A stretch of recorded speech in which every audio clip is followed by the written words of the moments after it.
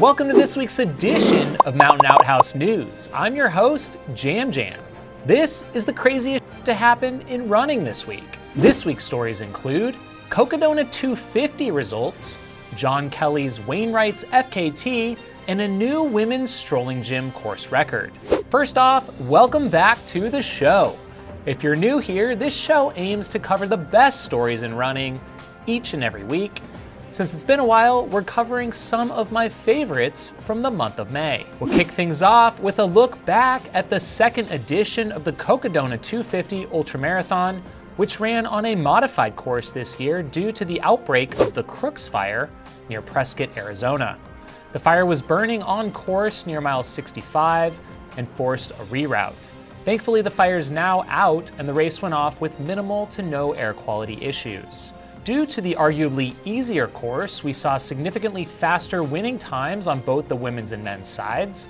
Annie Hughes, coming down to the desert from Leadville, ran faster than last year's overall winner, Michael Versteeg, to win the ladies' race and place third overall in 71 hours 10 minutes. Second lady was Lauren Jones of Atlanta in 78.34, and third was Flagstaff local Sarah Ostaszewski in 84.21. For the men, I was intrigued to see what Joe McConaughy could do out here on this course and at the 200 mile plus distance.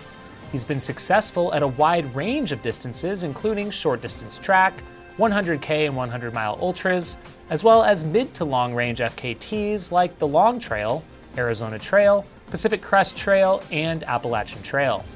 Well, he delivered in a big way with a win and the first sub 60 hour time finishing in 59 hours 28 minutes, over six hours ahead of second place Michael McKnight. Third male was Matt Smith. Just a quick personal note to everyone who came out and participated in some way or tuned in online. Thank you all for supporting the vision and dream of this event. It was amazing to see everyone show up and hopefully take something away from the experience. Stay tuned for year three to take place May 1st through the 6th, 2023. Fun story regarding Cocodona fourth place female finisher, Rhoda Smoker. Just over a week removed from her 89 hour, six minute finish, she lined up and won the annual Massanutten Mountain Trails 100 in Virginia in 25 hours, 35 minutes. That sort of double is just mind boggling. We do have to give a quick Beast Coast shout out to Massanutten overall winner Paul Jacob of Washington, D.C., who won the race in 1747. And last but not least, Bob Gaylord, who finished the Massanutten at age 73 in 34.59.59. Yes, just one second under the 35 hour cutoff. Funny enough, he just eked out DFL by six seconds as John Taylor, age 60, finished just ahead of him. If anyone has a video of these finishes, we'd absolutely love to share them with the Outhouse Nation. We've been covering the Strolling Jim 40 miler for several years now and the saga relating to the chase to break this event's long standing course records. A few years back, race director Lazarus Lake decided to start a prize pool for anyone who could break Andy Jones's 1991 record of 359.26. This stood the test of time for many years, with no one coming remotely close until Scott Breeden's 414.30 in 2015. Prize pool began at $1,000 and grew by 1,000 each year until broken. Zach Bevan jumped in for a shot in 2019 running a 407.42 which at the time was the second fastest time ever. He returned in 2021 and demolished the 40 mile race with a finish in 355.44 which now stands as the new best time. The prize pool has now returned down to $1,000 after Zach won $6,000 with his time. For the ladies, a prize purse was added a couple years later in the same format and stood at $3,000 going into this year's race. That was enough to attract world record holder Camille Herron to give this Tennessee Classic a shot. She showed up and not only won the race outright, but lowered Leah Thorvilson's ladies course record by 48 seconds to 444.01. One final shout out related to Strolling Jim, we got word that Dink Taylor now has 36 Strolling Jim finishes out of what we can tell are 44 editions of the race dating back to 1979. More Beast Coast news with the results from the brutally iconic Cruel Jewel 100 race in Georgia's Blue Mountains. This Hardrock qualifier is actually 106 miles long and features 33,000 feet of climb. I can attest that these stats are real and the race is brutal. I had my fill just running the 50 mile variant. This year saw some most excellent performances, and we'll start on the ladies' side with Liz Canty, who lowered the women's course record held by Angela Shartel since 2015 with a win in 26:34.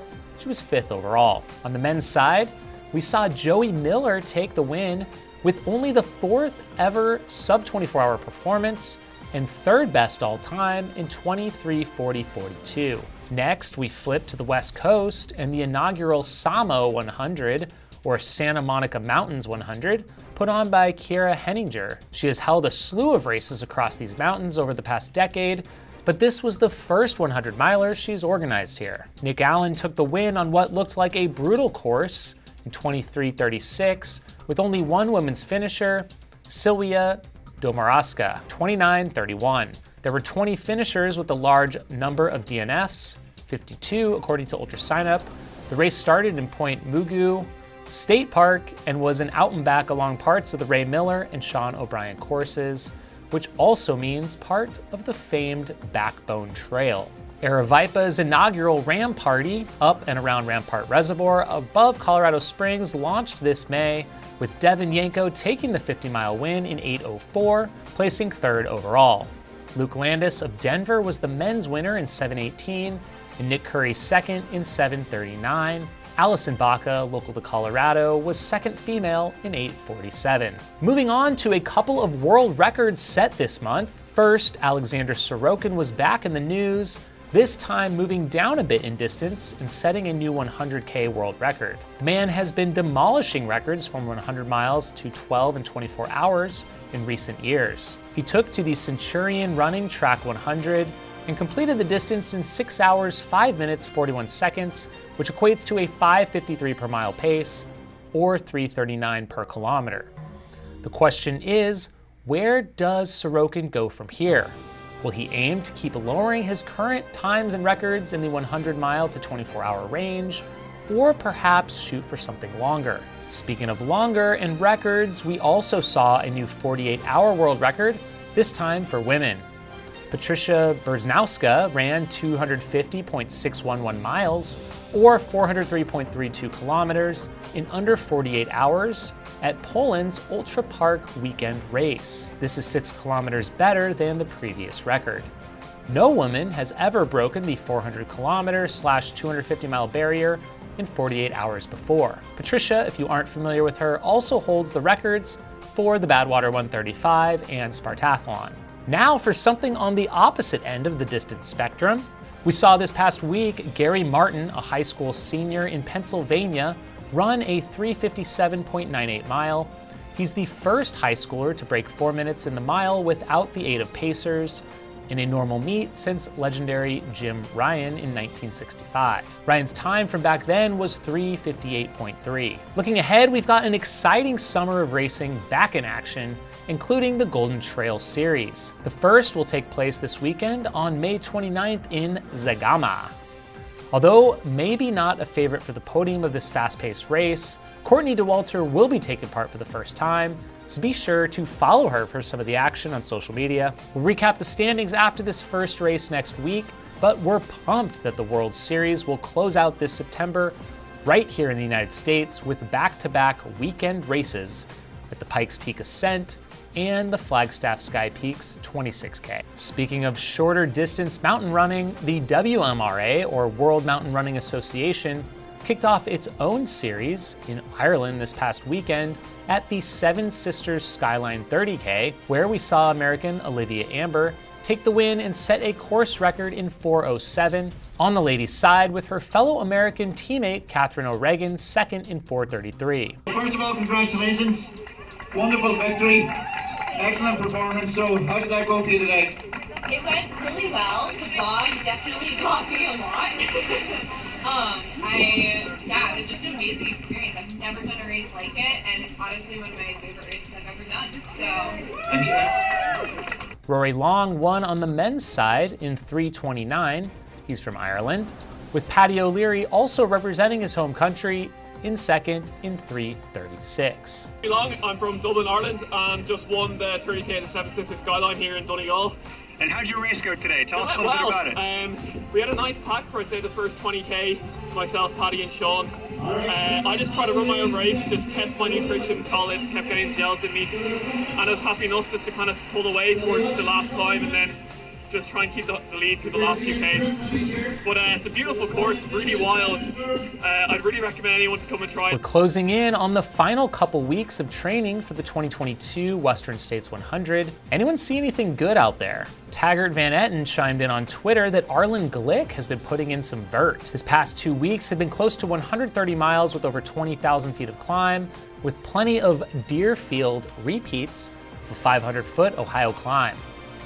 Local to Phoenix, Scott Traer has been putting together a nice set of 100 plus mile weeks in the desert heat that should serve him well, and accumulating a plethora of Strava crowns along the way. Last but not least, Flagstaffer Trueheart Brown has had an unconventional approach with seemingly more miles on the bike than on two feet, but with plenty of weight training and conditioning. Will be fun to see if he shoots to the front at states or plays this one a little more sly. Speaking of Western states, anyone headed to camp this weekend? I had a blast there a few years back, but won't be making the trip this time around. If you go, please record some videos and send them in to the Outhouse Nation.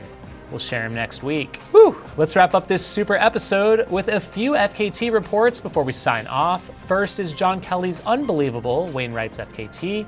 This was supposedly a last hurrah before he moves back stateside, and he certainly delivered. I've honestly lost count of the number of these insanely long multi day efforts John has attempted or completed, but they're all damn impressive. The Wainwrights includes all 214 peaks in England's Lake District National Park, and this route links them all up in a squiggly peak bagging binge that had John travel around 360 miles on foot and climb over 123,000 feet to set the FKT in 5 days, 12 hours, 14 minutes. And finally, we have a new stateside FKT as Kimber Maddox set a new rim to rim best time in Grand Canyon, besting Alicia Vargo's 2017 time.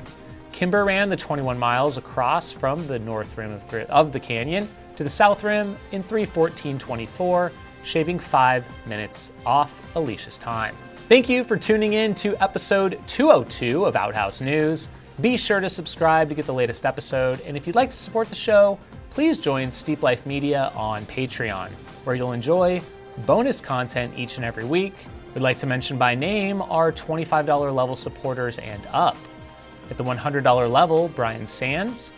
At the $50 level, Squirrels Nut Butter, Mark Grabowski, Peter and Patty Curry.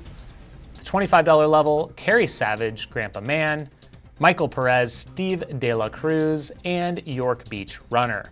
Finally, if you'd like to own this one of a kind custom pair of Jam Jam sunglasses or shop for merchandise, head over to mountainoutpost.com. Have a shitty week